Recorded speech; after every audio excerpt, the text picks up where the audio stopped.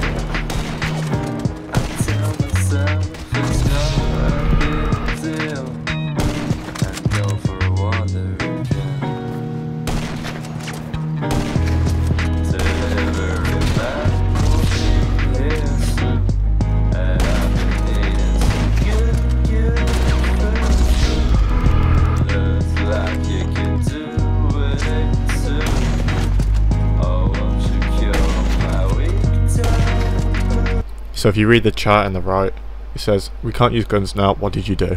And this because the owner of the yacht turned on yacht defenses, so I can't kill them and they can't kill me. But the guy still wants to kill me, so he comes off the yacht to try and kill me.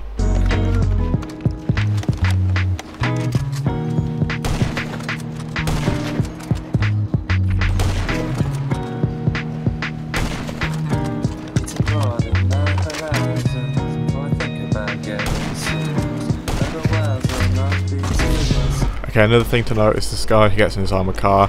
He can easily drive away, but no, he decides to drive straight into me and try and kill me.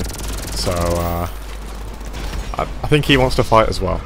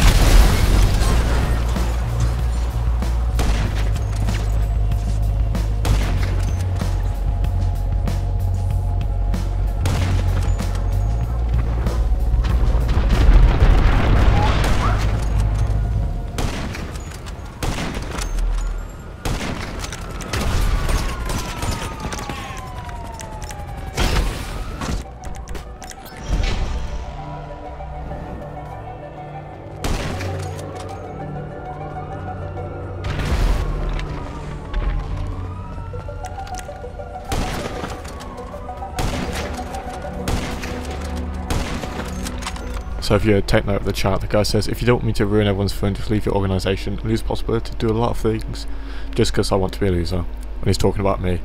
When, in actual fact, if he wanted to do CEO work, I'd let him do that. And if he didn't want to fight me, he could have easily just gone away or gone passive. But no, this smart guy wants to keep coming back and keep dying.